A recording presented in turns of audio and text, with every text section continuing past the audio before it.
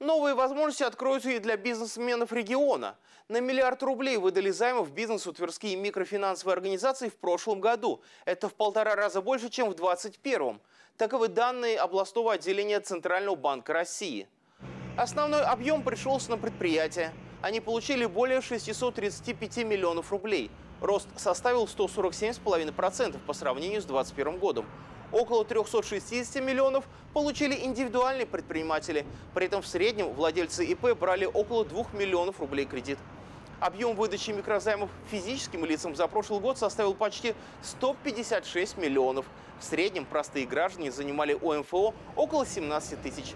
Напомним, что в Тверской области зарегистрированы 4 микрофинансовые организации и 117 их обособленных подразделений. Проверить легальность работы каждой можно в Государственном реестре МФО.